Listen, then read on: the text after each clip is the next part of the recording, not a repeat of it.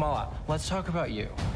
It's not really the brown girls from Jersey City You save the world. Maybe now they do. I got this, right? Totally.